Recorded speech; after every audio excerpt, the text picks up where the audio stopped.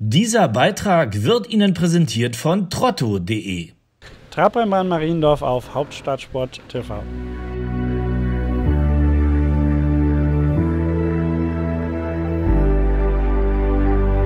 Letzter Renntag vor dem legendären deutschen Traber-Derby auf der Trabrennbahn Mariendorf am Sonntag zeigten Pferde und Fahrer noch einmal, auf was sich die Zuschauerinnen und Zuschauer in den kommenden Wochen freuen können.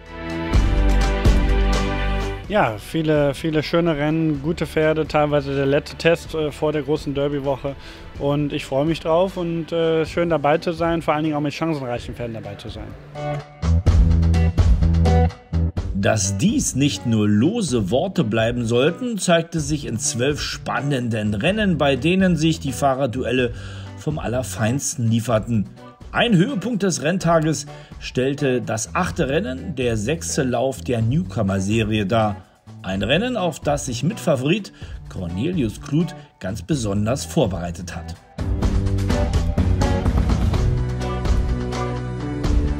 Mein Pferd ist gut. Die anderen äh, Mitfavoriten GG's Victoria und Eisbär Newport sind auch gute Pferde.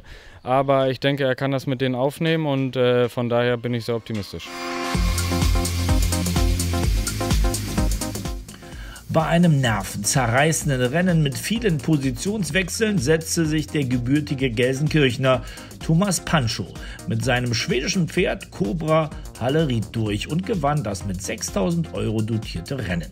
In der Mitte der Bahn Cobra Hollerit, Thomas Pancho, der gewinnt diesen Lauf.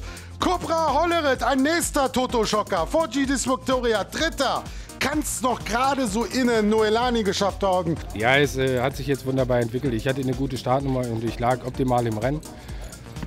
Und von daher, als Michael Nimczyk dann noch rausging, lag ich dann zweites Pferd in und konnte warten bis, bis Anfang der Gerade und dann setzte er sich gut ein.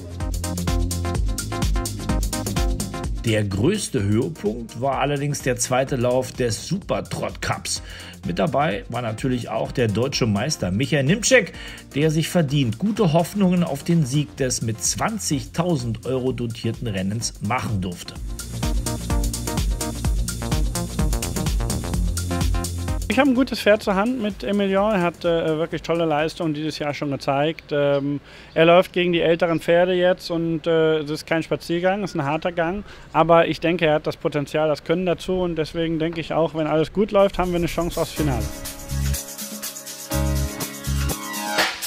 Und mit Jos Verbeek gab sich ein absoluter Weltstar des Trabrennsports bei diesem Lauf die Ehre und ergänzte das bereits mit Top-Fahrern besetzte Feld. Für den Holländer ein schönes Gefühl, wieder in Berlin am Start zu sein. Nee, schön, dass die Besitzerin hat mich äh, Invitation gegeben zum Kommen. Und ich komme gerne nach Deutschland. Äh, ich habe das immer gerne gehabt.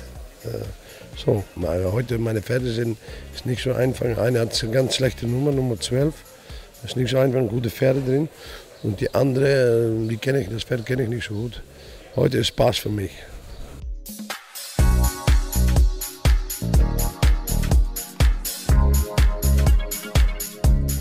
In einem absoluten Top-Rennen schenkten sich die Pferde und Fahrer nichts und so konnten die Zuschauer eindrucksvoll sehen, was den Trabrennsport ausmacht. Am Ende konnte sich der ehemalige Weltrekordhalter und Weltmeister Heinz Wevering mit seinem Pferd Rainbow Diamond die Krone aufsetzen und dabei zeigten sich trotz aller Erfahrung wahrhafte Emotionen.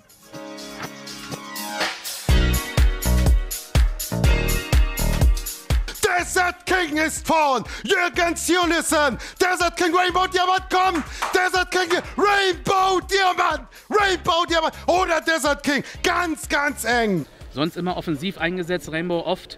Und diesmal richtig mit der geschonten Lage. Er hat es dir gedankt im Einlauf.